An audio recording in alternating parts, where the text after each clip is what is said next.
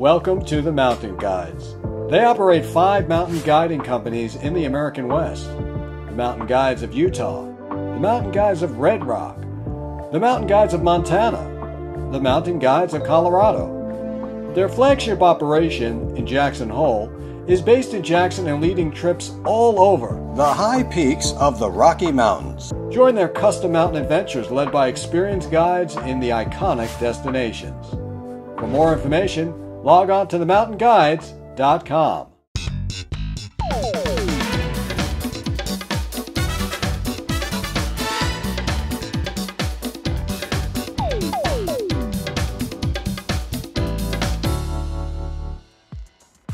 Welcome to Okano's Kitchen and today I'm going to teach you how to make Thai dumplings and I know that dumplings are made in lots of different cultures but this is an Asian dumpling and it really is an important part of our family history. My four kids, Amos, Ramsey, Zachary, and Gus, when they hear that I'm making dumplings just kind of they'll stop everything and make sure that they get their share because it's just one of those things that I think everybody can have a twist on and I just want to show you ours.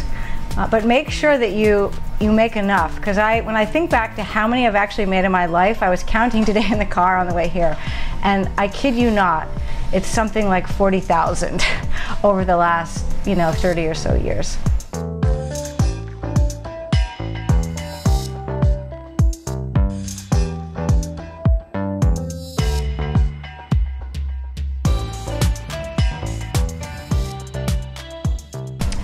So here we go. We start with um, about a pound of ground pork. Now I know that everyone doesn't eat pork, so you can also use ground chicken, ground turkey, shrimp. Um, so don't feel like you can, can't make dumplings if you don't want to use pork. So I have a pound of ground pork, and then I'm going to add in some chopped red pepper, some chopped cabbage, about a cup, cup of each. It kind of depends. I'm gonna when I mix this up, I'll decide if I have enough of these vegetables. Some chopped green onion, fresh ginger, some minced a couple tablespoons of each fresh garlic, and then we're gonna do. Um, I'm gonna do about two tablespoons of this very nicely minced cilantro. And okay, so that's that part of it. Now for the kind of the wet ingredients, I'm gonna add about two tablespoons of soy. And if you're gluten-free, they do sell gluten-free soy. So one, two. Then I'm gonna add in about a tablespoon of sesame oil. And just for a little bit of salt, I'm gonna add some fish sauce. These again are all very Asian kind of spices. Now this, the main ingredient that I like to add is hoisin, which is um, kind of a thick, uh, sugary paste that's made with soybeans. So I'm gonna add in probably a tablespoon of that. It's slightly sweet, so we're gonna do that. And I also like a little spice, so I'm gonna put in a little garlic chili paste, like maybe a couple teaspoons. All right, now that's just ready to mix. Um, I'm actually gonna do this with my hands and I have washed my hands, so just easier to get all those ingredients mushed in together. Um, I do like to add in some ground shrimp if I happen to have it, because that gives it even another layer of flavor. But just the plain pork is fine. And you can just smell all those yummy ingredients, the, the hoisin and the fish sauce and the soy and the sesame. Um, and I like to use red cabbage because it's kind of prettier once you get it in the dumpling. And there are lots of ways to um, put dumplings into a wrapper and I'm just going to show you the way that we do it. Okay. Okay, so there's the, the dumpling insides, innards. Then I'm gonna take these wonton wrappers, which you can buy in the grocery store, already cut in the shape of a dumpling. And I'm gonna lay out the dumpling wrappers so that I can fill them. I'm gonna lay, start with about 12. You've gotta be careful because these kind of dry out if you leave them in the open air. So either cover them with a towel or just do a few at a time. Now 12 is not even gonna begin to feed my kids. So, but I'm only gonna make 12 today because we don't have time to make 100. Okay, so then we're gonna take a spoon and I'm gonna put in about a tablespoon of this batter, which is really nicely seasoned with the ginger and the garlic, like that. And I'm just gonna go down the line here, the dumpling line, dumpling train, wishing that I had somebody helping me, but whatever. I've made so many of these, I can barely, yeah, I can barely count. Um, there you go. This inside, again, I always like to talk to people about what they can have in the freezer because you could have this, the dump, the inside of the dumpling in the freezer, ready to go. You can also freeze the dumpling once I put it together before you fry it up. So that's kind of a, then you could just steam it later. But I've made these for weddings and I'm going to show you a yummy dipping sauce. So okay, there we have the dumpling wrappers or fills. Now I'm going to take the corners, just kind of squish them together, make a little flower looking thing.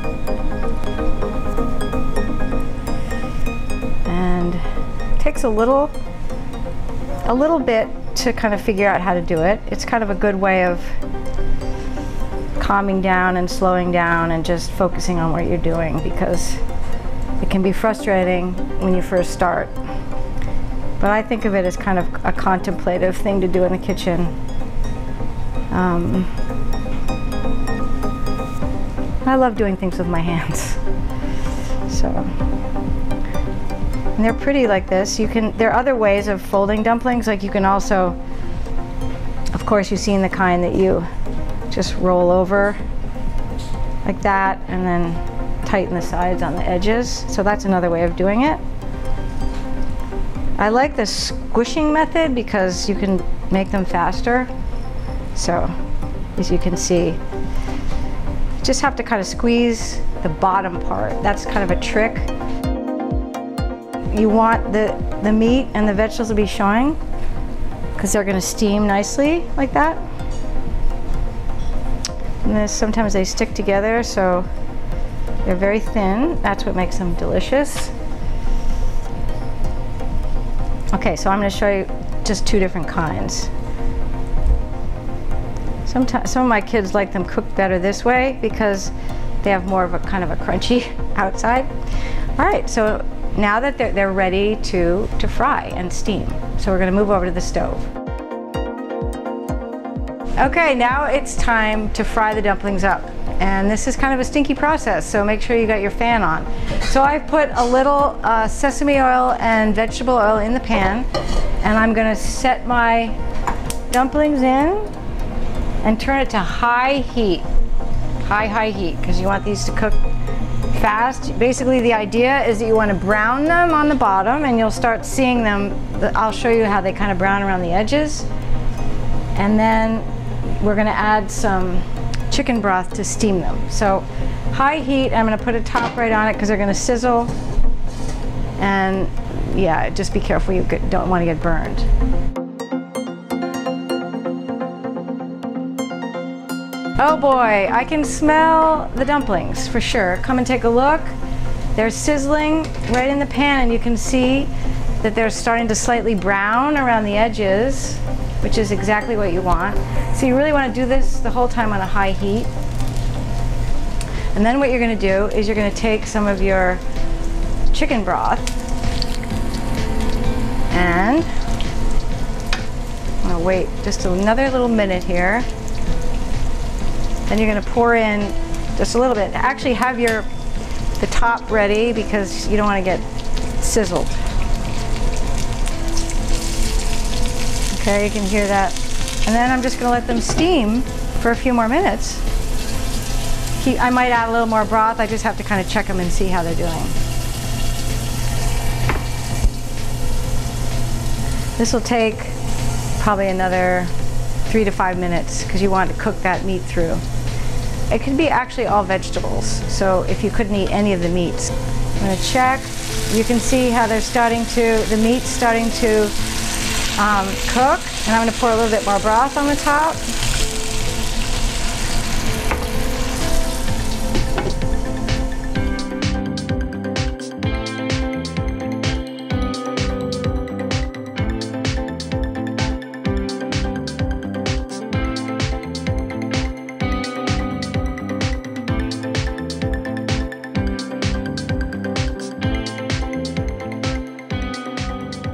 Dumplings, here they come. Oh my gosh. Where are Am Ramsey, Zach, Amos, and Gus? Look at these beautiful things. Okay. So they're ready to eat, and while they're cooling, I'm also gonna show you how to make a really yummy dipping sauce. There you go. So they, they steam up like little flowers after you put the chicken broth in and just put your cover back on. Um, and these are fine at room temperature, so you don't have to worry about eating them hot out of the pan. In fact, you can't really eat them hot out of the pan. Um, okay. And I like to sprinkle, like my sprinkles. Here's some more furikake. Just makes it pretty.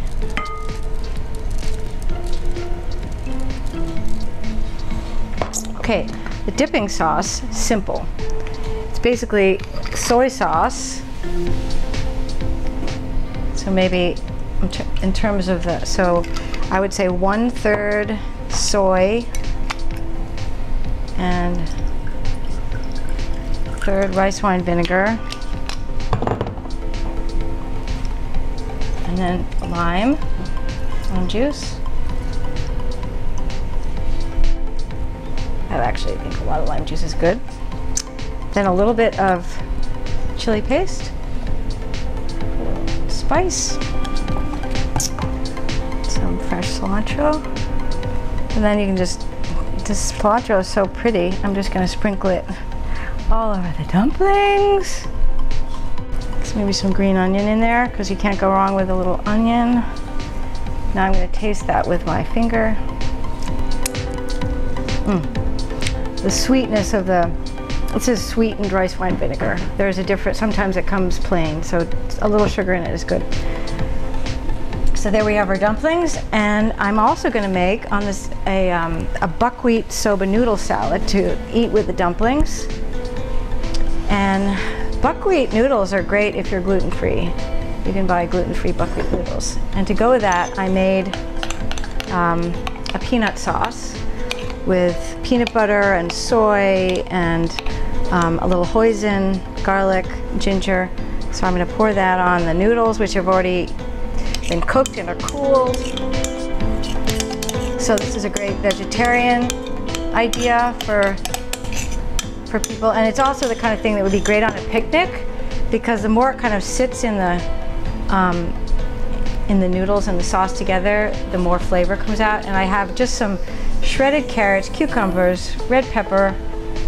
I'm just gonna mix that in. And it's not fussy, so it could just sit in your fridge. I'm gonna put some more cilantro in there. And then I'm gonna just do a little mix.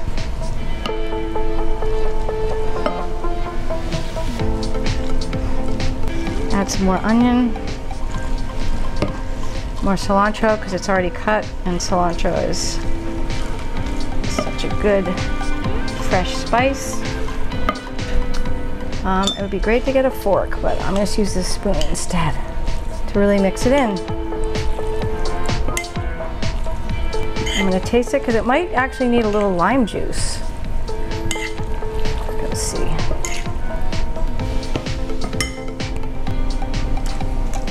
Mm. Mm-hmm. I think I'm to put a little lime juice in. Hmm.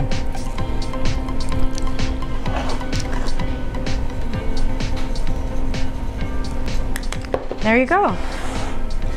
Soba peanut noodle salad with fresh vegetables and Thai dumplings. Okay, thank you for joining me today at Okano's Kitchen. I was really excited to share an old family recipe for Thai dumplings with pork and vegetables and the dipping sauce. And then we have some soba noodles with a peanut sauce and lots of fresh veggies. I'm just gonna scoop some of that up. That's really good cold, be great on a picnic. You know, just take that in your cooler. And then, of course, we're not gonna forget dessert, and I made a peach cobbler crisp you know, peaches are always delicious, but especially in the late summer months. This is a really easy recipe that you can find um, on my website if you order my cookbook. Uh, it's one, of, and it's it's easier than a pie because you basically just put the butter in the bottom, you put the peaches that have been soaking in sugar, and then you pour a batter on top. So it's kind of cakey, cobblery. So I'm just gonna, it just came out of the oven, it's super hot. It might be a little sloopy because the it seems like everybody in this studio is just so impatient for dessert that I had to take it out a little bit early, but if you let it sit for a while, it would be, you know, a little bit more cakey. But we're gonna just like take a little scoop of that. It's so yummy. Look at that. Peaches, and then a little, of course, if we had some ice cream on the side, that would be delicious. But it really just highlights the sweet peaches. And we didn't make samurai bread on this episode, but that's because Asian food maybe doesn't necessarily go. But don't forget to go to my website and order your samurai bread kit because it's um, easy to make. You get two mixes with each order and a, a, bread pan that's handmade in Vermont, and you just add water. You can make this bread, as one of my friends said, um, at her lunch break. she made it in between meetings. So um, please check it out uh, and let me know how it goes for you because I always like getting feedback. And order my cookbook. Go to my website, Okano's Kitchen. Thank you for joining me, and I can't wait to see you next time.